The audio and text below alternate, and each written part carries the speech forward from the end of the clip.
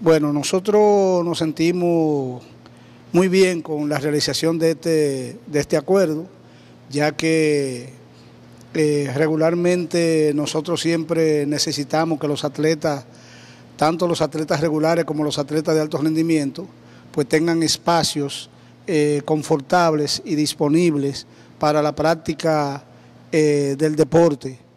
En este caso, el Club Naco, que tiene muy buenas instalaciones deportivas, y no solamente por lo bueno de las instalaciones deportivas, sino que los horarios también para la práctica de dicho deporte eh, pueden ser horarios flexibles siempre y cuando nosotros tengamos la necesidad de preparar algún equipo para algún evento internacional, que más bien eh, nosotros si vamos a utilizar algún tipo de instalación deportiva regularmente para los eventos internacionales, porque para los eventos nacionales pues tenemos las instalaciones eh, tanto de las universidades como del, Centro Olímpico Juan Pablo Duarte y las instalaciones de los demás eh, centros olímpicos que tenemos en el país.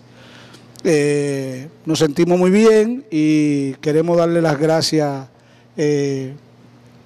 a Boyero por haber hecho, por haber hecho la, la diligencia correspondiente para que este acuerdo hoy pudiese firmarse entre la Comisión Nacional de Deporte Universitario y el Club Deportivo NACO.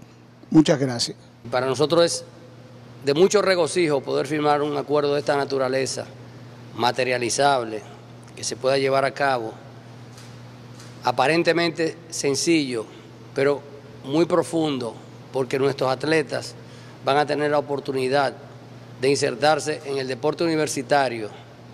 Pero lo más importante es que si no decoyan como atletas los que no son de alto rendimiento, pues se insertarán en la sociedad como mejores ciudadanos. Esa es una de nuestras metas y por eso estamos muy complacidos de firmar este acuerdo.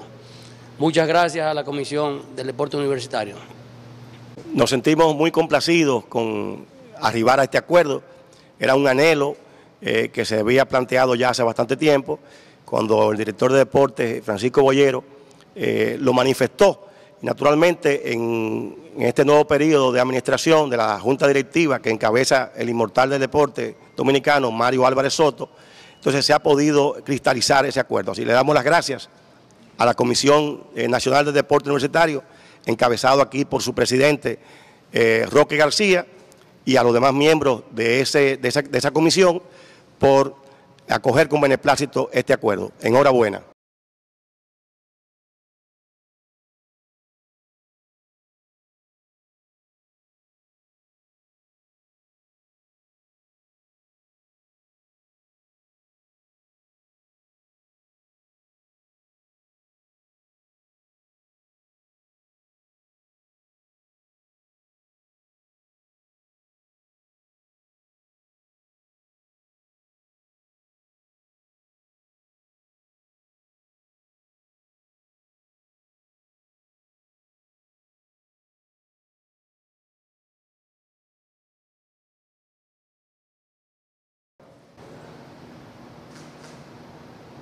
This station.